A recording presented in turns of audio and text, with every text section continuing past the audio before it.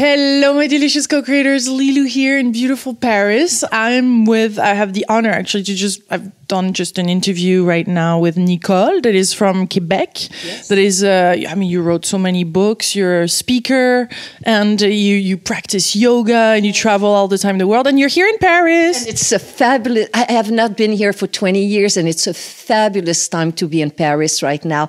There's such a beautiful energy. So I'm, I'm very happy to be here with you and we did this incredible interview in French, and now we have this chance to speak in English for our friends. So I'm happy. Yeah, because I mean, your book is not in English yet, but it's it's kind of like the art of reinventing yourself. It's called, and uh, I, I, find that you know great to say to people just every day recreate who you are because choose yourself. Choose yourself, and when we we think about rec recreating oneself, we always think, okay, I'm going to change my haircut. I will do another type of makeup. Uh, I'm going to move. I'm going to change the way I dress.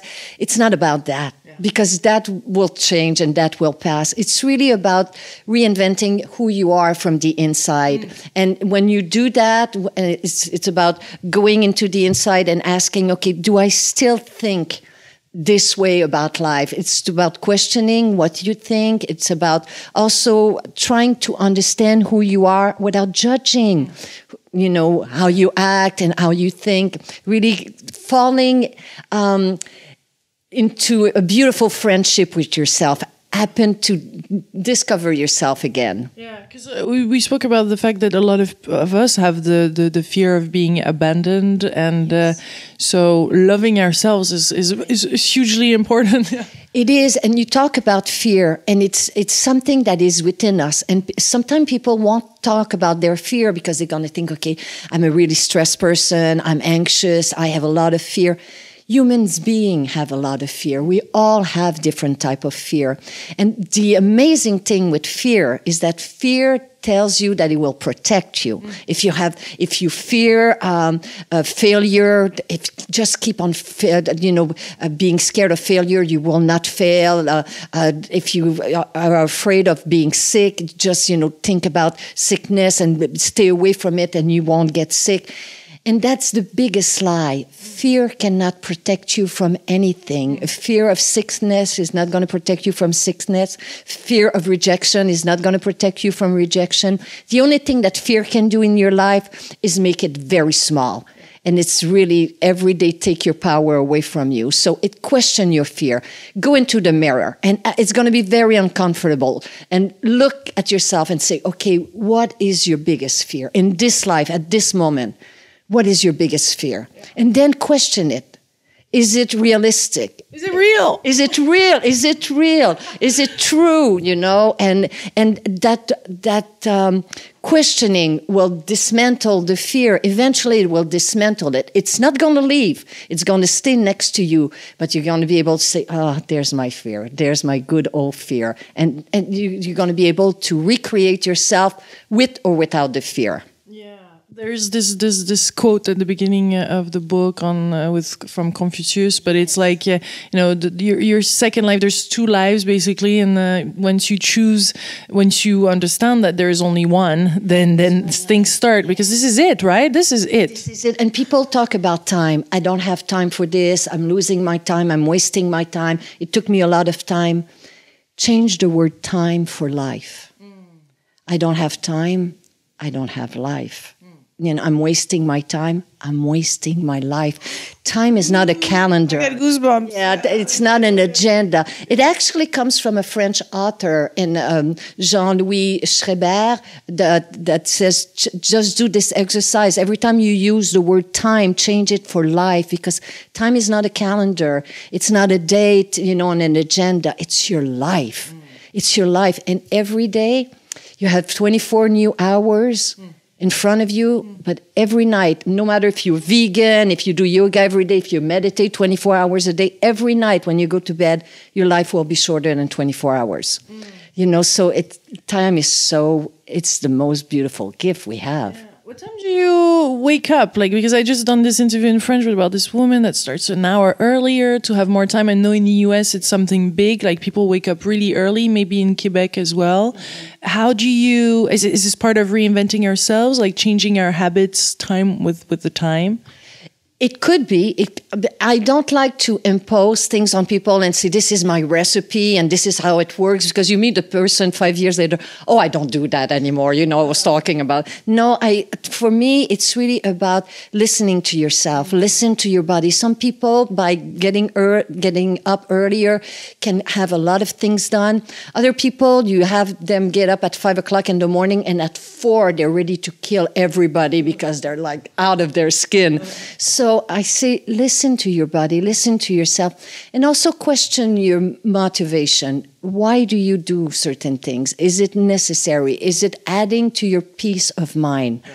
Peace of mind is a really beautiful thing to yeah. to to seek. Yeah. In, in, in, as part of reinventing, it's also part of uh, healing, I guess. Healing different aspects: the soul, the heart, spirit. Healing and forgiving, letting go of the past. The past cannot be repaired it's a it's a really sad news but no matter what you do you can ask why why why did this person you know did this to me? Why this happened? Why will never have an answer that will you know be enough for you? So it happened. It cannot be repaired. See if you can make peace with it. It can be a long long you know a long type of work that you have to do within yourself but forgiveness is an incredible way to mm. reinventing mm. yourself, to let go of the past, to free yourself. Mm. That doesn't mean you excuse the person. That doesn't mean the person comes back into your life, but you free yourself. And forgiveness is a, an incredible form of healing. Yeah for the body, for the heart, for the soul. It makes you free and light and it brings joy into your life. Mm. I found out that the the forgiveness can only be true or deep enough when it it goes to the soul level, like understanding really on a soul level why this happened. Otherwise, it's kind of still a bit superficial, no?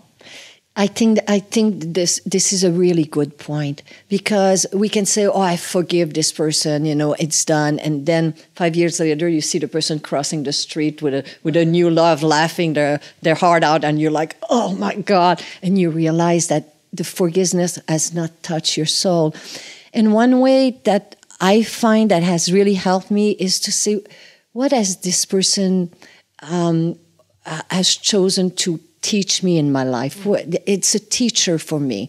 What is this situation teaching me right now? How can I use this to have a better understanding of you know where where are my fears? Where are you know um, my self-acceptance. Exactly yes self-acceptance exactly. And sometimes people will come into your life exactly to show you where you, you you're losing your strength. They will show you by creating situation with you.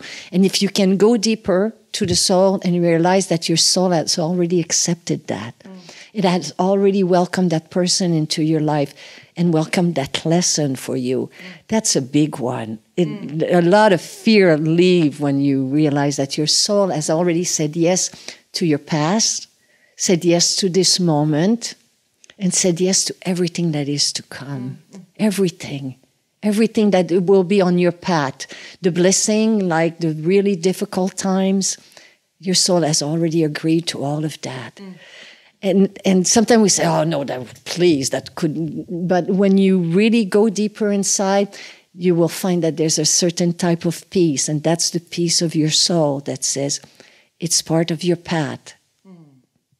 Any other little thing to add to this conversation to talk about reinventing transforming? Gratitude. Yeah. gratitude. Gratitude is such a fabulous yeah. underrated thing. Gratitude. Life doesn't owe you nothing. Yeah nothing. This breath is an incredible gift. This meeting is a fabulous, fabulous gift. To be here, to be alive, to be to be breathing, to be uh, everything. Gratitude will change your attitude. Yeah, even for what's not. Even for what's not. Absolutely, because I sometime to pray for something. Mm you pray for something, you want this relationship, you want this job, you want this contract, and then you don't get it, and you're like, why, why? And then down the road, you meet the person five years later, 10 years later, the person that got the project had a burnout, or the, the, the relationship that you prayed for, you see the person, how it ages, you know, 10 years ago, 10 years from now, and you're like, oh my God, was this a blessing or what? So sometimes I have gratitude for what's not coming your way. It might be a good news in disguise. Beautiful. Well, let's reinvent ourselves. Thank you so much. Thank you to you. Thank, you. Thank you to you, beautiful, delicious co-creators. My God, you're so loved. Can you believe that? I do. Uh, mm, well, blessings from Paris. Bonjour. Bonjour. À bientôt. Gros, gros bisous. bye bye.